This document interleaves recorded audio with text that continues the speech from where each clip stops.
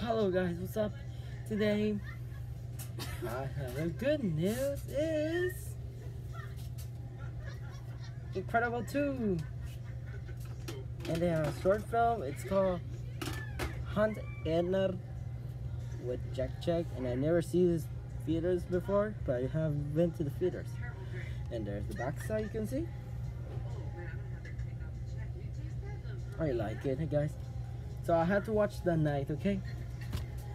Hope you enjoy.